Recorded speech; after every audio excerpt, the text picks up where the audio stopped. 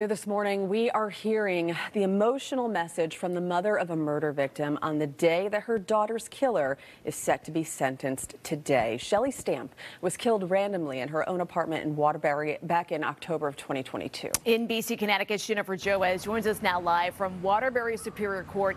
And Jennifer, you spoke with Shelley's mom yesterday about what today will mean for her.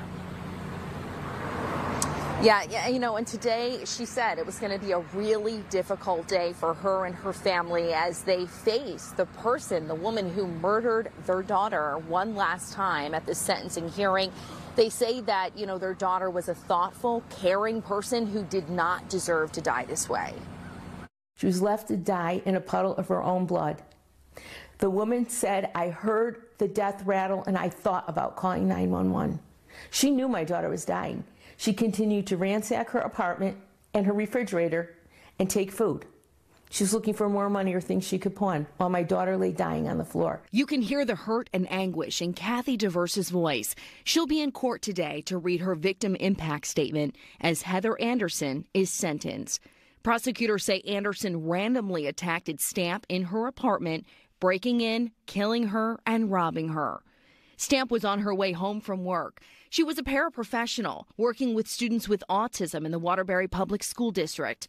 Her mom says she also waitressed for extra money.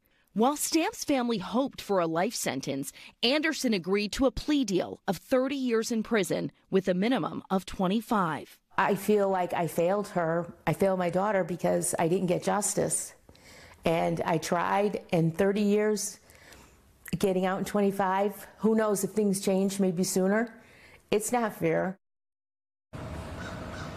And while this sentencing is happening today, the other woman who's accused of driving the car, you know, that Anderson was in to and from that apartment complex, she's only facing misdemeanor charges. She is not in jail, and she actually failed to show up to her last court appearance.